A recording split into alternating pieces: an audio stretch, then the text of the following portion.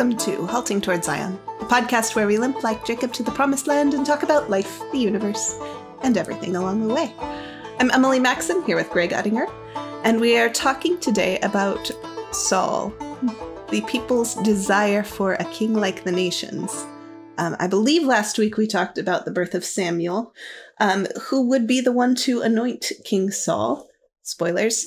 Um, but how did how did that come about? That wasn't exactly something that God offered on a silver platter. As yes, this is what I have intended for my people Israel. It was kind of initiated from the grassroots, if you will. you know, there would be a theme in itself that I hadn't thought about. We often have the idea of something comes from the grassroots and it's got to be good.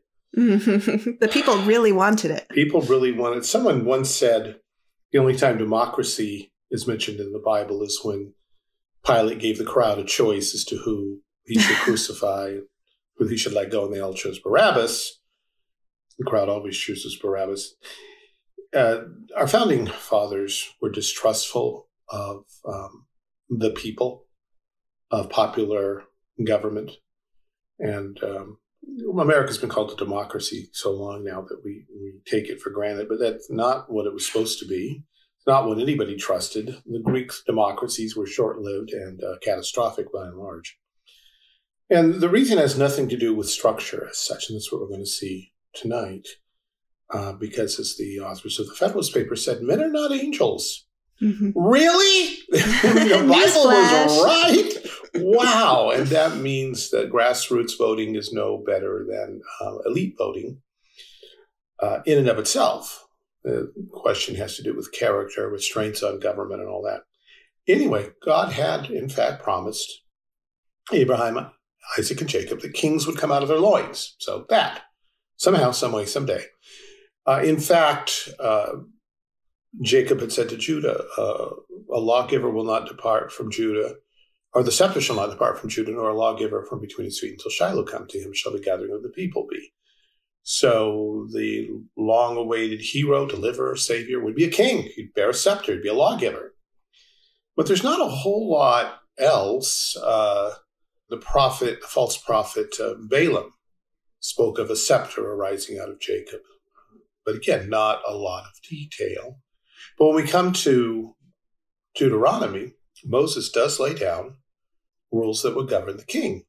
And interestingly enough, he says, when you come into the land and you want to set a king over you like all the nations, here's the kind of king you're, you should want and have and pick.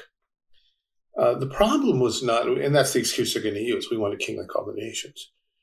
Uh, depends what you mean by that. If you mean you want to have a government that most people are familiar with and that seems to serve most people's purposes, that's one thing.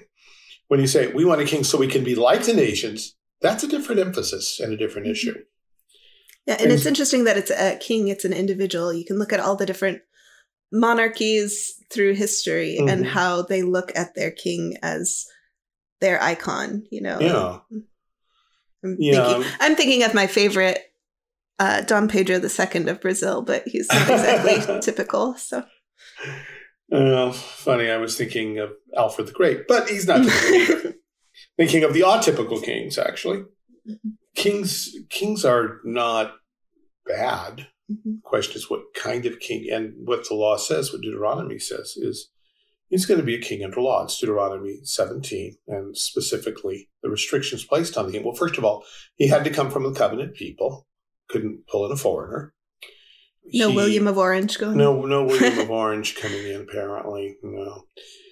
Uh, there were um, three things that the king was not to multiply to himself. He was not to multiply horses; those were the tanks, the offensive weapons of the day.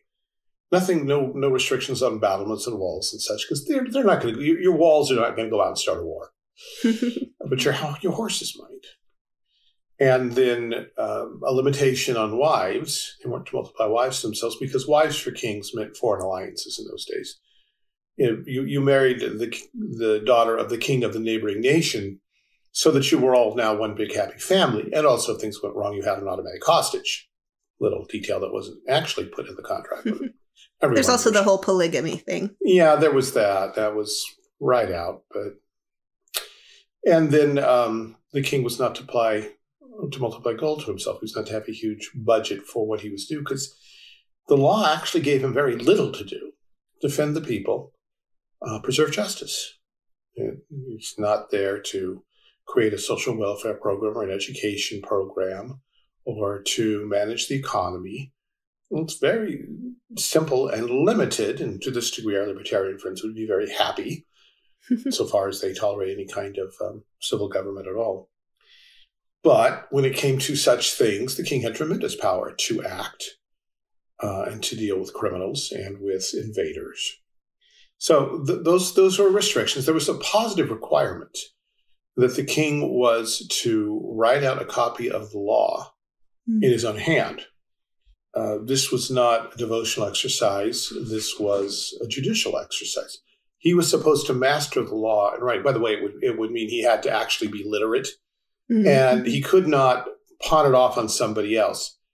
Hey, Sam, have you written out those chapters for me today? Is that my homework? You can't, you know, you got, you got to do it yourself. Photocopy this for me. yeah, it, it, does that. That doesn't work. He has to. In that culture, writing it out meant that you had to process it, read it, had it pass through your brain and your hand and such. So he was to become intimately familiar with the law of God because that was his standard. So those are some of the things that were in place, and the question then becomes: Well, if God knew that and intended to give Israel a king. What's the big deal when they finally asked for one? And it has to do with their attitude. This is what they say. They use an excuse that Samuel's sons aren't um, the man he is. Samuel had appointed them judges in Beersheba. Beersheba was the southern boundary. It'd be like, I don't know, what's the what's the last American city before you hit Tijuana? I don't know, San Antonio or something. Yeah, well, you know, it's it'd be some small, out of the way place, and they they had very little effect on anything. But they weren't doing a great job. They were not acting, uh, walking in Samuel's ways, and the elders used that as an excuse. Now, Samuel had led great revivals in his time, but as we've seen, one of the problems with Israel throughout the book of Judges is, is perpetuating revival into the next generation.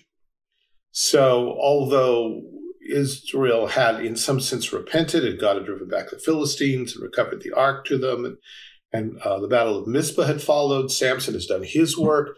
God has been looking after Israel very clearly for some time, and they've had peace. And yet, now that Samuel's old, people are getting restless again. And but but what's the problem with the king? Well, they say, "Behold, thou art old; thy sons walking out of my ways." Now make us a king to judge us like all the nations. But the thing displeased Samuel when they said, Give us a king to judge us. And Samuel prayed unto the Lord. and The Lord said to Samuel, Hearken unto the voice of the people and all that they say unto thee. For they have not rejected thee, but they have rejected me, that I should not reign over them. According to all the works which they have done since the day that I brought them up out of Egypt, even unto this day, wherewith they have forsaken me and served other gods, so do they now also to thee. Now therefore hearken unto their voice, howbeit yet protest solemnly unto them and show them the manner of the king that shall rule over them. The problem was not that they wanted a king under Yahweh, they wanted a king instead of Yahweh. Mm-hmm. Not that they simply wanted a more efficient um, civil government, more reliable, more predictable. Well, we could make good arguments for that. The, the, whole judges things have been rather creative and interesting, although it allowed for a great deal of freedom, but also allowed for a great deal of being beat up by your enemies. Yeah, stability was not the hallmark of the judges era. No, it's not. Um, and so God is saying this is just one more thing. They're not going after an idol uh, in the traditional sense, after false gods, but they are turning this idea of a monarch into an idolatry. Mm-hmm. Uh, they want this king instead of me. And because that's what they want, that's what they're going to get. Uh, God says, to Samuel, go ahead, make them a king. But this is the kind of king they're going to get. You tell them. And there is a list that follows. Here are some of the things that uh, Samuel told them out loud in front of everybody. This is what's going to mark your king. Your king's going to conscript your sons for military uh, and agricultural armies. He's going to conscript your daughters to work in his bakeries and kitchens. He's going to take the best of your lands, eminent domain, and distribute them to his lackeys. He's going to take their slaves for his own use, And he would take the tenth of their seed, of their vineyards, and their sheep. Now, the last point has to do with the tithe. God demanded a tenth of all these things. This and, and this was what marked God as their sovereign and their king. This was his tax. He paid ten percent. There was it wasn't something enforced by civil government, nor was it necessarily enforced directly by the ecclesiastical government. Although I assume that your rabbi, pastor, Levite, after not seeing you do anything for a while, might walk over and say, "Hey, Zachariah, what's with this? Uh, we never seem to see tithes coming in from you. You know, this is this, and do that. I, I, presumably, you could uh, be excommunicated, but it would take a while. There was no mechanism set up to check on such things. You were not required to submit your books at the end of the year to the synagogue to see whether or not you were doing something. Again, great deal of room for freedom and for putting the burden on the individual to do what was right. But this is a highly symbolic number of yeah. one tenth shows that everything that I have belongs to God. And exactly. so giving one tenth indicates that he is my God. Yeah. And so for a king, a merely human king, to demand the same amount mm-hmm. Was uh, idolatry. The king is taking the place of God. And to be told that he will and to be okay with that is is great wickedness. On the other hand, to be told he will do that and say, oh, no, no king would ever do that we in the 21st century can only sit back and laugh at that one. 10% would be real nice. Oh, it would. It would be nice to go back to 10%. I'm all about 10%. That'd be great. Um, I forget what the uh, percentage was when the United Colonies uh, decided to break with Britain, but I think it was like 1 or 2% tops, the whole taxation rate. And even then, it wasn't so much the uh, tax burden as it was the principle involved. Parliament's taxing us directly, and they don't have the authority. Mm-hmm. But uh, if they knew then what's happened to their descendants, they would be horrified. At some point, maybe amused and horrified again. You I think it was FDR what? who proposed a hundred and I think hundred and three percent income tax at one point. The idea being, if if you were in the top tax bracket, you obviously had savings, and the government had a right to it. okay. Yeah. Okay.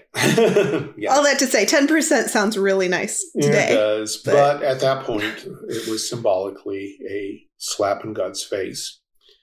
So the Samuel warns the elders of all this, but they, and he says, uh, in, this is going to happen. And you'll cry out in that day because of your king, which you have chosen, and the Lord will not hear you in that day.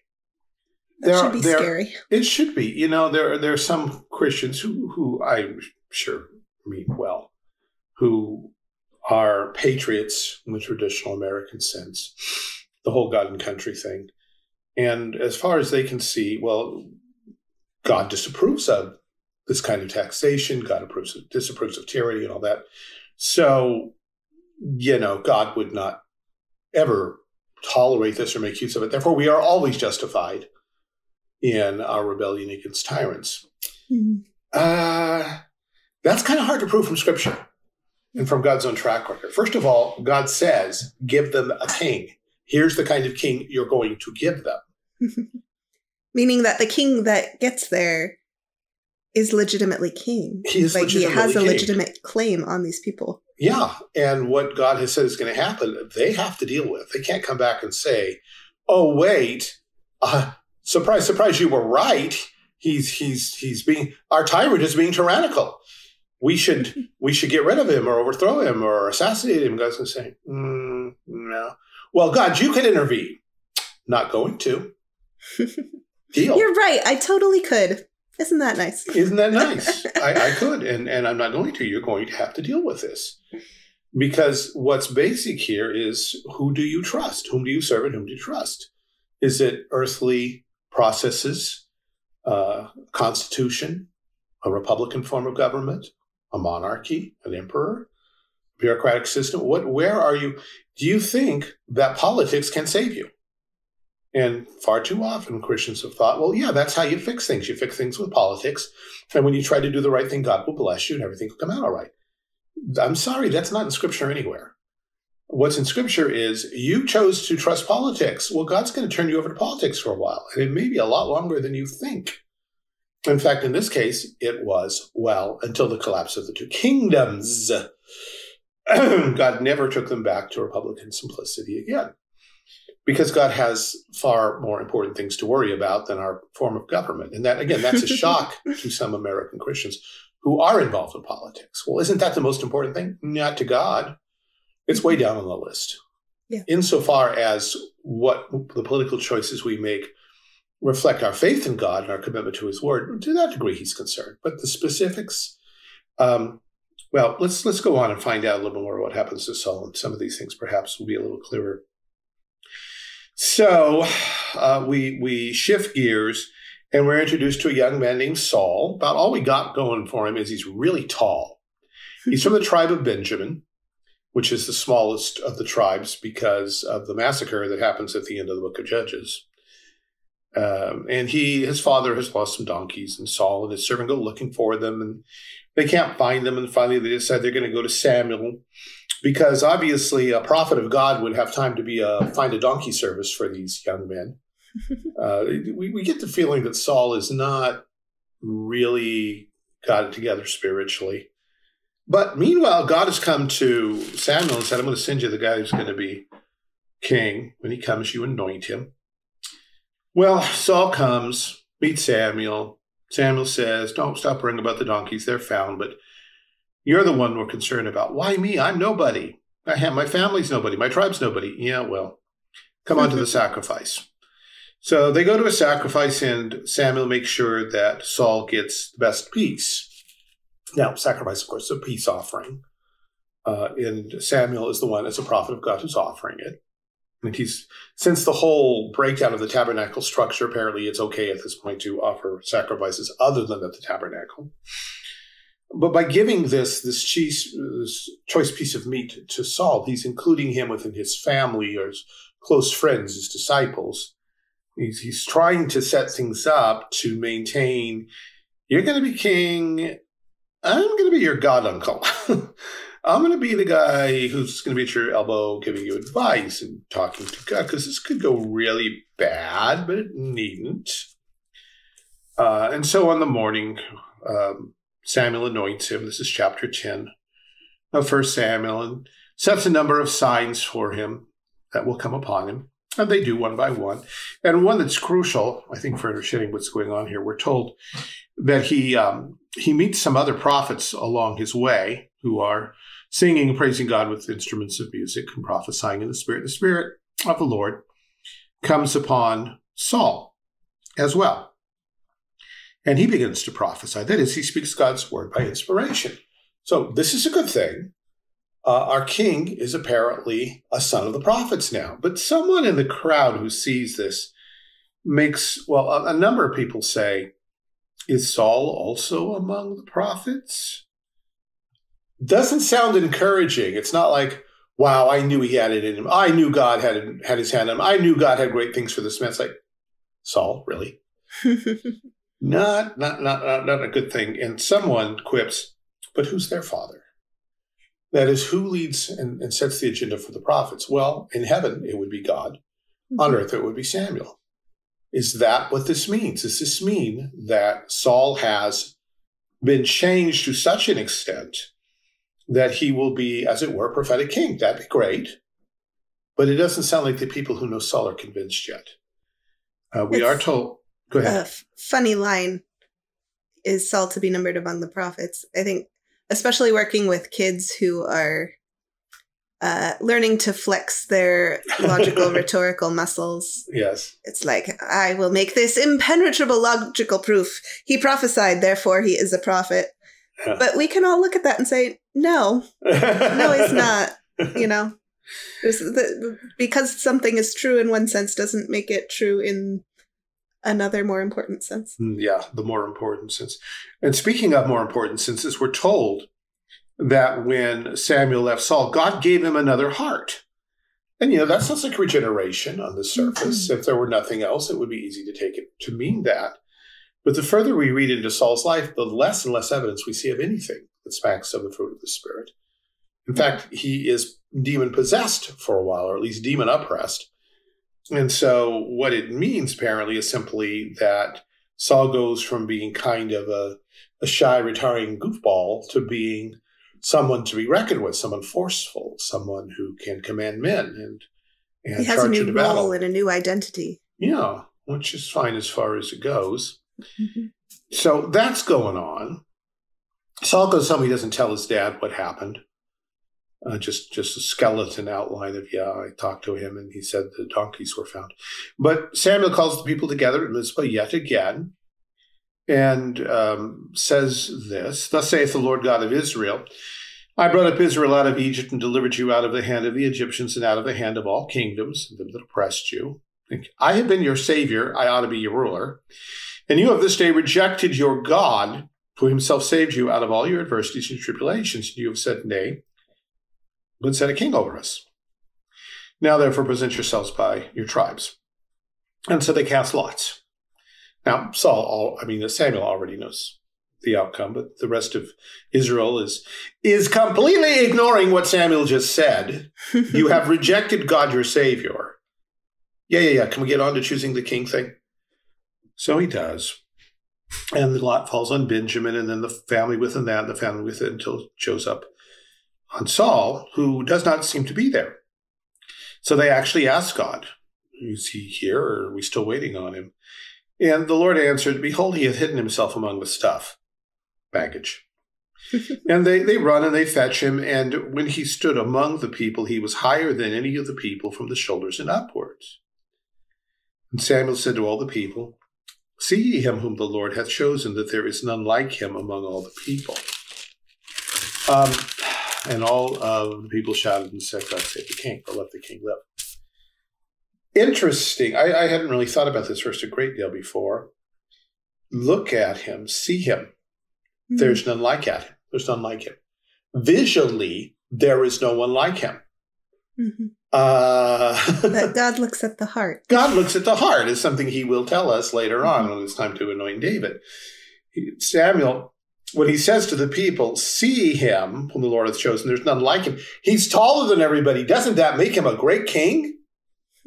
you would think there'd be somebody there who would say, yeah, but what are his credentials? What's his track record? Can we talk to his rabbi? Uh, what's uh, what's his testimony? What's his work record? Uh, has he stood for uh, theological confirmation? I mean, all of the questions you could ask.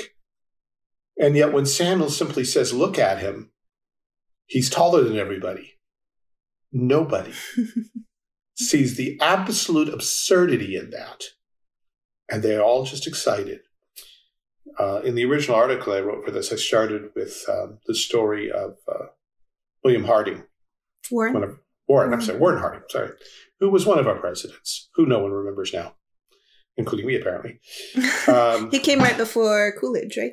Mm, like, like Which said, means nothing happened because everything was great. So. Everything was great, yeah. Uh, but uh, Malcolm Gladwell in his book Blink spends some time about with that election, and basically argues that people knew nothing about him. He really had nothing to commend him. I mean, there's nothing special. There were lots of people who had his credentials.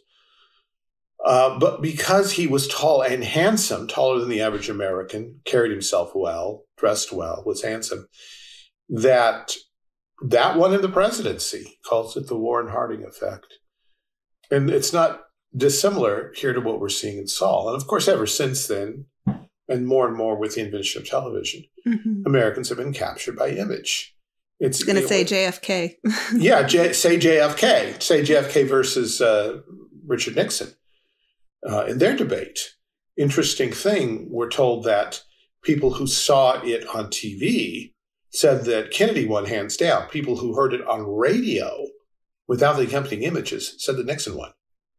Hmm. But since more people were watching on TV, JFK got the uh, got the election because people more and more want someone handsome and trendy and cool and suave and with it and all those kind of things.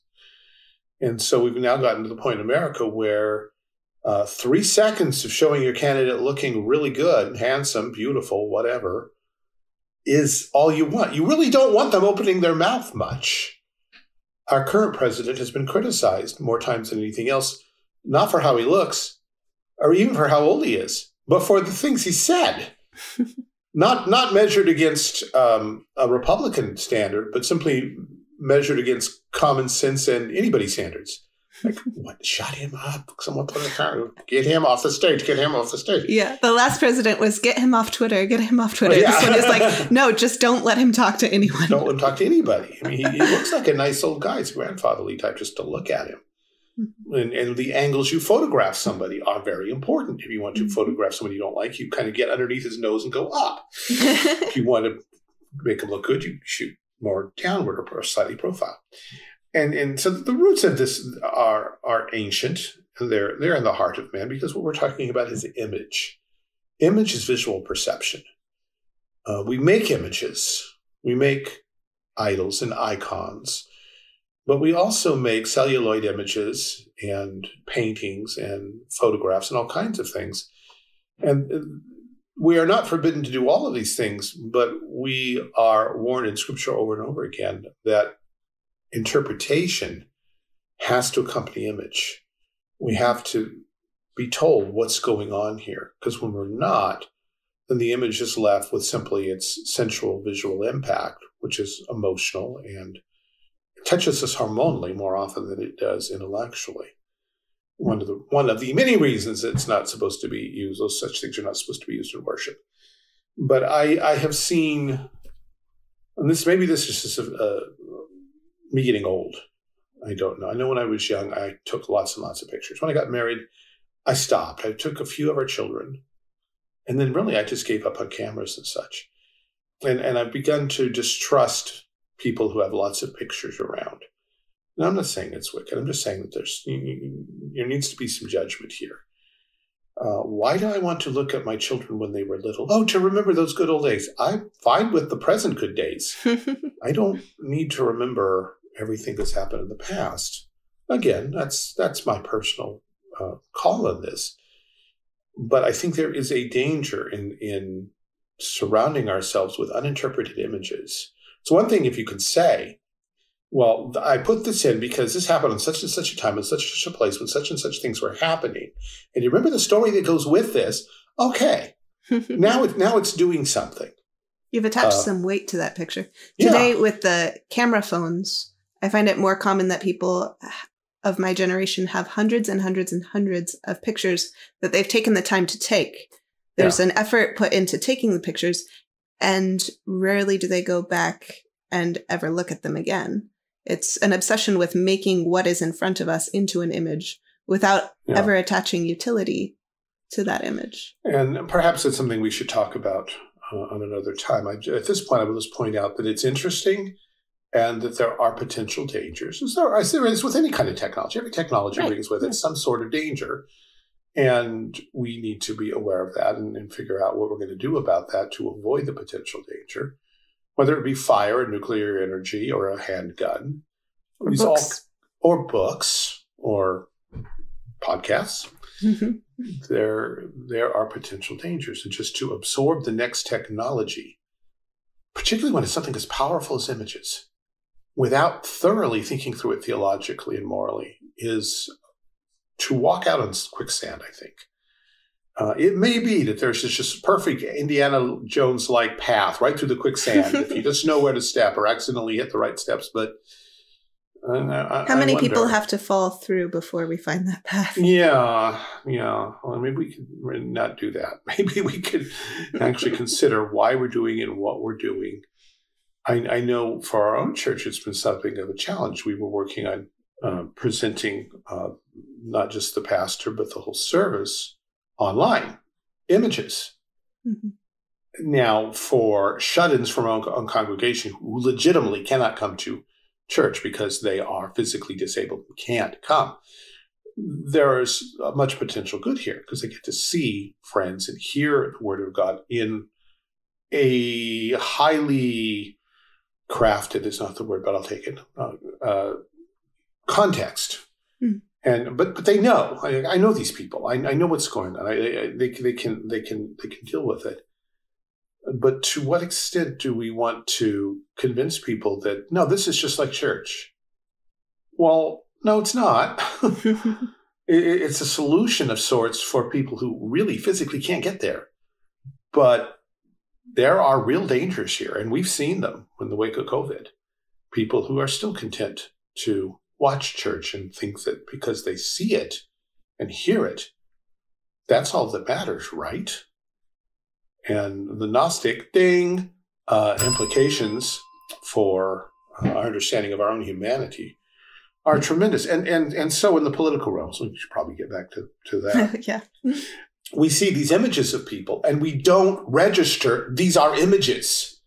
Uh, no, I saw it with my own eyes. No, you saw a very, a very carefully crafted image of something that's been edited, photographed from a particular angle, a particular time, it's gone through some uh, editing software, uh, released under certain circumstances with certain background music. You were not there. You did not see it. You do not know what happened.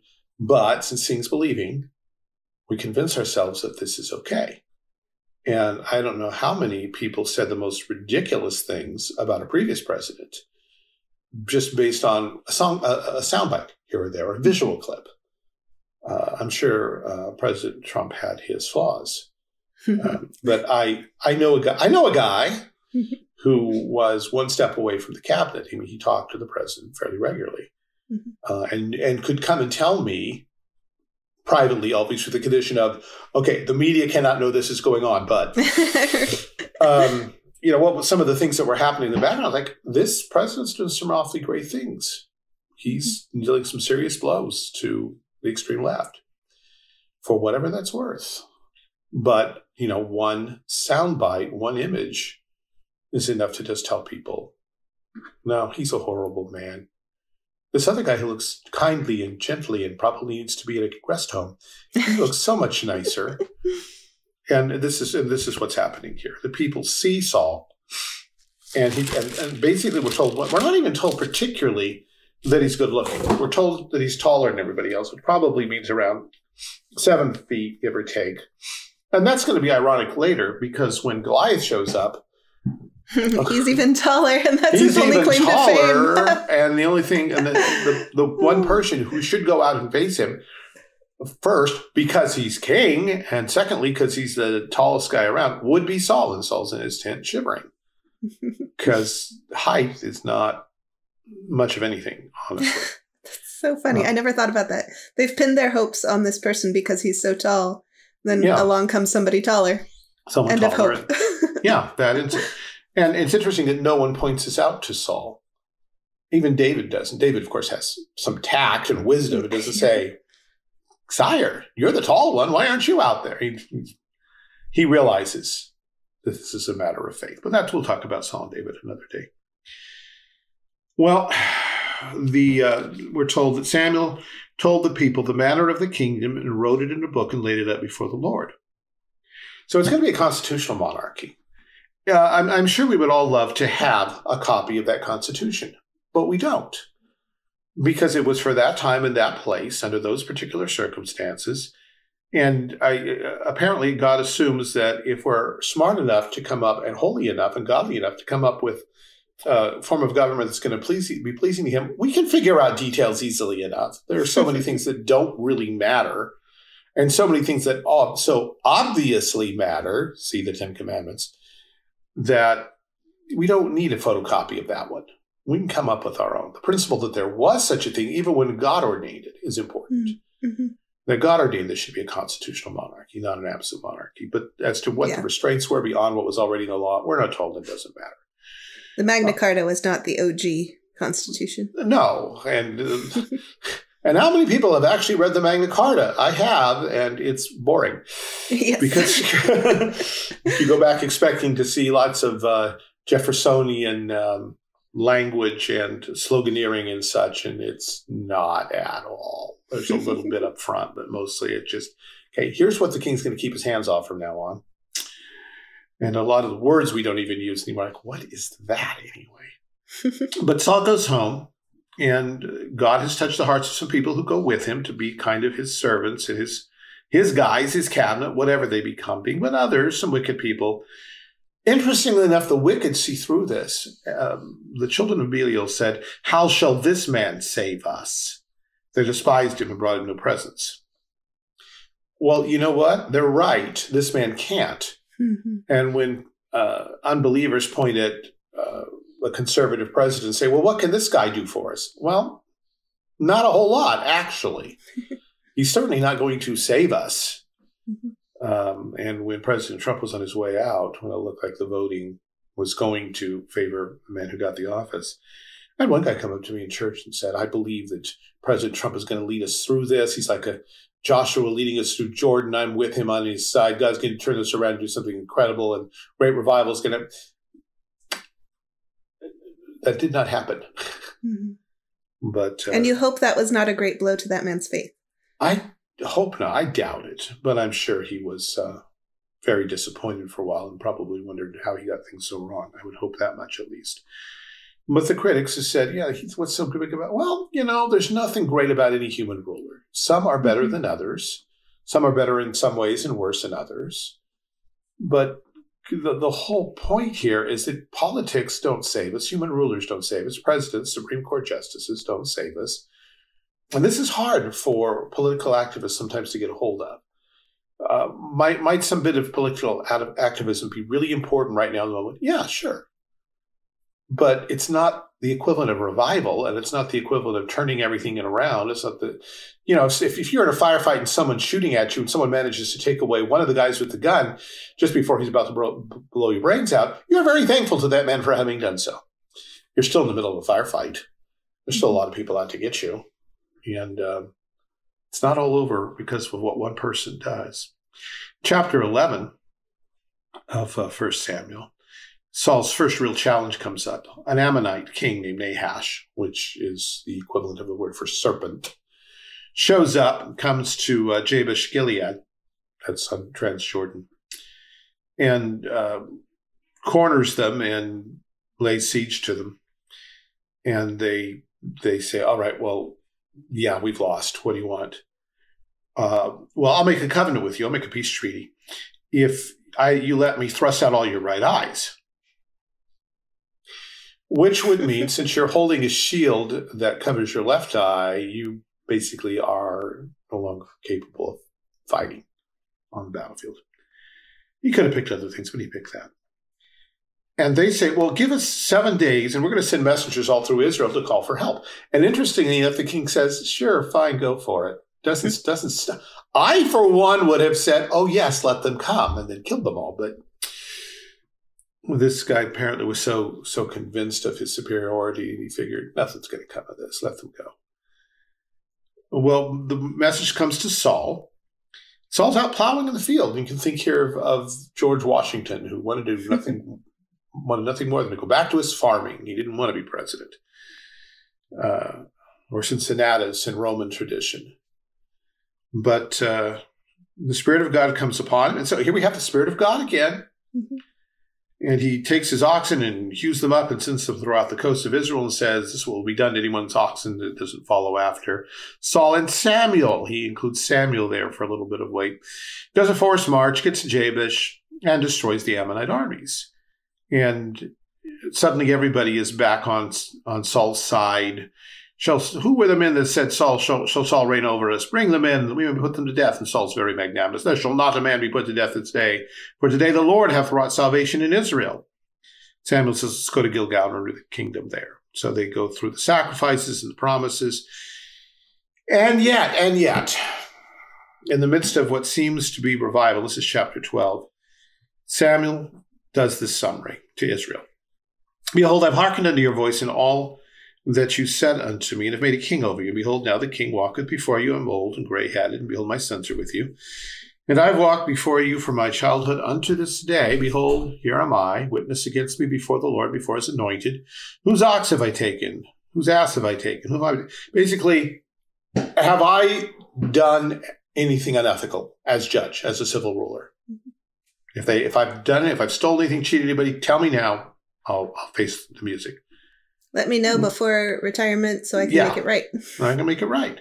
And they say, No, you haven't defrauded us or oppressed us. The Lord's and his anointed as witness? Yeah, they, yeah, yeah, yeah. Okay. Then he recounts their history of how God brought God brought them up out of Egypt by the hand of Moses and Aaron, and and, and goes along those lines and ta- rehearses some of the judges and how God delivered them again and again throughout that time period.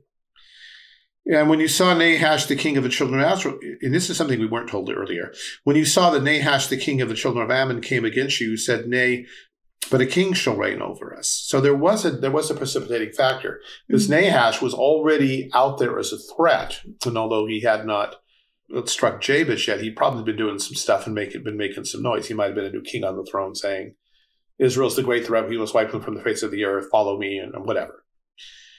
And so, behold the king whom you've chosen, and whom you've desired. Behold, the Lord, the Lord has set a king over you. Keep coming back to that again and again. God set not just a king generically, he set this king over you. If you will fear the Lord and serve him and obey his voice and not rebel against the commandment of the Lord, then both you and also the king that reigneth over you continue following the Lord your God. But if you will not obey the voice of the Lord, but rebel against the commandment of the Lord, then shall the hand of the Lord be against you as it was against your fathers. And it's supposedly wheat harvest. It's supposed to be wheat harvest, but it stops being wheat harvest when God sends thunder and rain and wipes out their harvest. And they say, uh, Pray for thy servants unto the Lord thy God that we die not, for we have added unto all our sins this evil to ask us a king. Finally, and Samuel says, Fear not. You have done all this wickedness, yet turn not aside from following the Lord, but serve him with all your heart. Turn ye not aside, for then you should go after vain things which cannot profit or deliver, for they are vain. For the Lord will not forsake his people for his name, great name's sake, because it hath pleased the Lord to make you his people. And and he goes along these lines. Now here's here's the thing. He gets them finally to admit that asking for the for a king, at least on these terms and along these lines, with his hard attitude, it's sin. It's rebellion. They finally say, yes, we've sinned. It's part of our track record. It's rebellion. God does not say, then get rid of the stupid king thing. yeah. He doesn't tell them to go backwards. He says, start out where you are. All right, so you've got a king. I'm not taking the king away. Nor does he say that the things he prophesied would not happen. They, in fact, have been prophesied and they're going to happen. Just a question of how long and on what terms. But he gives them hope. If you and your king will obey me from this point forward, if you will trust me rather than yourselves, rather than your politics, rather than your military, rather than your clever political strategies, if you will trust me, then it will be well with you, and I will bless you, and we'll walk together. But if you don't, you know what's coming. Now, there are political ramifications here, but let me point out the personal ones. There are many times in life when we get to the point where we realize we've done a lot of really stupid, sinful things. Woman marries a non Christian husband, has children, realizes one day the guy is a complete creep. He's evil. He's dangerous. She has no money. She's got nothing.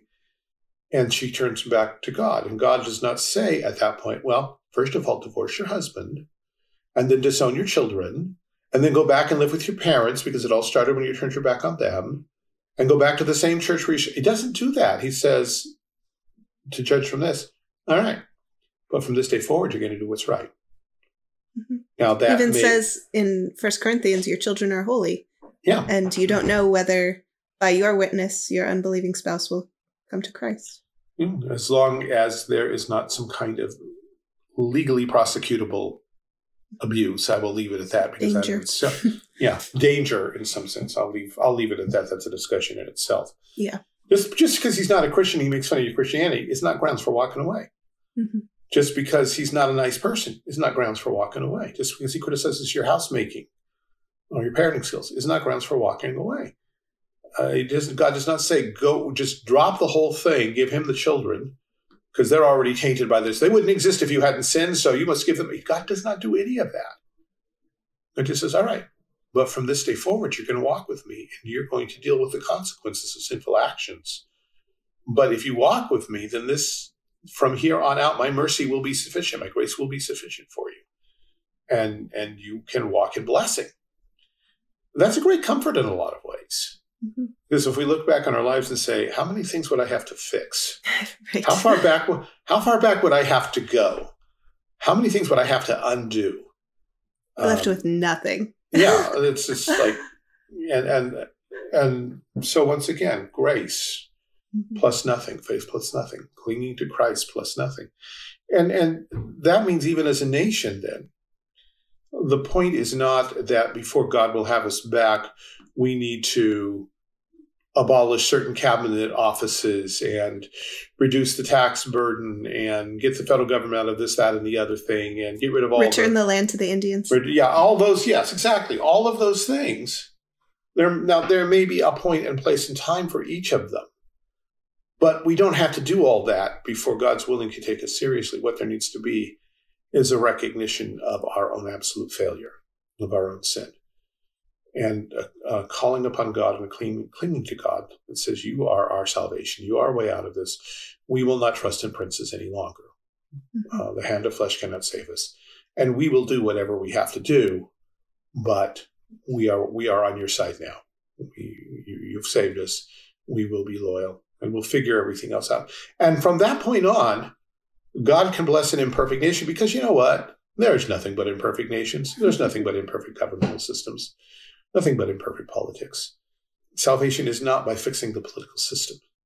Salvation is by confessing that whatever we got, we got here largely because of our sins. Yes, there was there was grace, there was God's common goodness at points, there were Christian principles, there was Christian capital that we borrowed and burned up.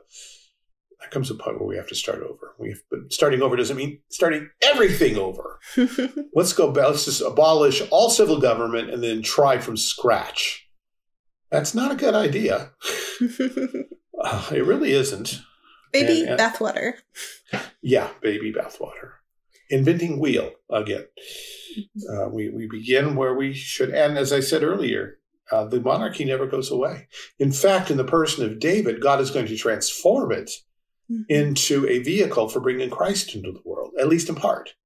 But yeah, then the monarchy under the sons of David goes crazy and God eventually sort of discards it too. And there's this whole virgin birth thing.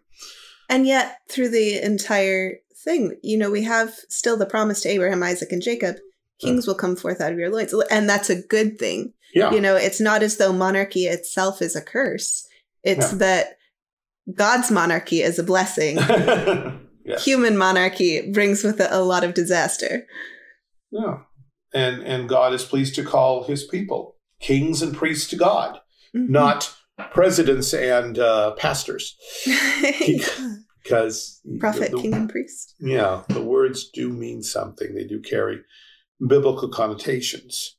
Mm-hmm. And where it has been good insofar as we have de deified these things, that we do not believe in a um, divine right of kings or divine right of pastors, for that matter, mm-hmm. or the divine right of church government, Yet these are things God has ordained and we need to submit to them. Uh, anarchy is just a great a sin as totalitarianism. It's just even more trouble because at least totalitarianism has an order of some sort. I know people, no, anarchy's better. You have not lived through anarchy, thank you. Mm-hmm. Besides, it just never stays. People will demand order and they'll get it. And our God is a God of order. Mm. We have the, you know, it comes back to who's around you and how do you relate to them. Your family has an order. Your neighborhood yeah. has an order. Relationships are structured by nature because we are covenantal beings. Yeah. Idolatry is an obsession with an image. It's a rejection of reality. Saul's image was impressive, and for a time God used him powerfully. God, God knew Saul's heart. In time, the reality would eclipse the image. Saul would prove, indeed, to be a king, like those of the nations round about. He would be a tyrant, a murderer, and worse. He would try to kill the Lord's Messiah. God says, I gave thee a king in my anger to come away in thy wrath. And Israel's basic problem wasn't a political structure or a weak military or a lack of leadership. Israel was under the righteous judgment of God, and the only solution was sincere repentance. And that's where America stands. And we, we're good at gimmicks, and even the church is really good at gimmicks. One, one last program that will fix everything, whether it be religious or political or some blend of the two. And it's no substitution for mass revival of people as individuals coming to God and saying, I have sinned. Forgive me, change me, and I will serve you. Even if it means serving you in the midst of tyranny and disaster and persecution. Uh, we don't get to set the conditions for God, but God is good. Mm-hmm. And in His time, He will accomplish that which is best for His people he always does what's best for his people. We like to set conditions on God because we like to be comfortable, mm-hmm. especially we in America. Yeah. I hear the protests already, but America isn't Israel. Correct. That makes it worse because Yeah, we can look back on Jesus and say, yeah, that's the king we were supposed to serve. yeah, that's the king we're supposed to serve, and we're not. And there's this thing called the uh, Great Commission where we're supposed to make all nations as disciples. Yeah, we, we need to get back to that one. And that means that as nations, we have to confess Christ as king. Yeah, that means at some point we have to have little things in the Constitution that says, and you will take this oath in the name of the triune God of Scripture. Uh, Not basic- nature and nature's God. Yeah, and, uh, or some God never named. Mhm. Uh, the basic tests can be imposed, like do you believe in a creator God? Do you believe the Bible is his word? Do you believe in a last judgment? The original colonies and the original states' governments had those things in their charters and in their first constitutions. Mhm. Uh, the American Constitution was unique in leaving them out, and the only parallel is the French Constitution up to that point. Uh, nobody could conceive of a nation who served no God in particular, uh, except perhaps here, Israel. Because for once they didn't call for an idol, they just called for a king. Hmm. Maybe there's some lessons that we need to listen to. Yeah. Right. Well, let's wrap up with some recommendations. Um, I have a children's book to recommend. Okay. It was sent to me today by a dear friend, and I had never heard of it before, but it is utterly charming. It's called Chrysanthemum, and it's about a little mouse. His name is Chrysanthemum, and she goes to school, and all the kids make fun of her because she's named after a flower. Yes. They're like, Chrysanthemum? Psh, lame. And her name doesn't even fit on her name tag. How weird is that, right? but uh, it has a happy ending, and it's, yeah, I was utterly pleased with it. So, Chrysanthemum. it was the perfect name. Yes. Oh, so you know it. I remember it being read aloud by a small girl a long, long, long time Hmm. ago. So I haven't heard of it in years. Well, since you're going to deal do that, I'm going to suggest something equally, or actually even less uh, overpowering. Um, Sandra Boynton's, but Oh. not the hippopotamus. yes. Sandra Boynton is the queen of children's books. She is. I assume she's a Christian because not the hippopotamus. And see, there's not the hippopotamus. There's going to bed book, and I think there's one other. Uh, is about it's just cutely drawn animals, and it's a board book, and it's very simple. But as you watch one of them, I remember if it's not the hippopotamus or it's going to bed book, you notice that these, in fact, are the animals on the ark. Oh my goodness. Yep. Um, but uh, they're they're just fun little books to read and pleasant to look at in an age where so many children's books are are horrific with their illustrations, ugly, gross. Mhm. Uh, something that's just this sweet, mildly repetitive after a poetic fashion, pleasant, and that it was there is just this, this there's there's a faint moral message of uh, including everybody in your group and not pushing people away, not even the hippopotamus. It's a good thing. I mean, you know, Lewis said that if, if it's a good book, children and adults should both be able to enjoy it. And I've read some of these little board books to my children when they were little over and over again, and I never grew tired of them. Because although they're simple, it's the simplicity of a simple but, but powerful poem. And there were many other books. I think we've talked about some of them before. The story of Ping, Mike Mulligan's Steam Shovel, The Little House, um, Mhm. uh, Make Way for Ducklings. yeah. Uh, there are beautiful children's books out there that, though they are sometimes imaginative, and they're usually imaginative, they do, because they make the animals somewhat human. Um, they show God's creation as a beautiful thing to enjoy uh, and, and to take pleasure in and to appreciate. And this is much more, much more value than a lot of the trash that appears as children's literature today. So maybe, maybe at some point we can do a, a series on our favorite children's books for really little children. yeah. When I come back from maternity leave and have There some more go. informed opinions on this subject. Yeah. yeah. I eh, Sandra Boynton is also super skilled in her musical writing. I don't know if you've listened to her Uh-uh. album No, I know. Blue Moo. Blue Moon, So it's a bunch of songs written in different styles and totally riffing on different bands from today and from yesteryear before the Honorable Davy Jones of the Monkees passed away, uh, he recorded a song called uh, "Your Personal Penguin." I want to be your personal penguin. and of course, you can you can get each of these songs as a standalone children's book, but they also there are recordings, and you can Mm. get the whole album. And that is my favorite song. It's my personal penguin. Well, thank you so much for this conversation. It's been a delight. Uh, thanks also to David, our producer, and my lawfully wedded husband. Um, thank you to you, our listeners. We appreciate you tuning in. If you'd like to get a hold of us, the best way to do that is by sending us an email at haltingtowardszion at gmail.com.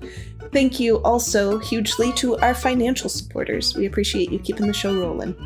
Um, if you'd like to join their number, you can visit our website, anchor.fm slash halting.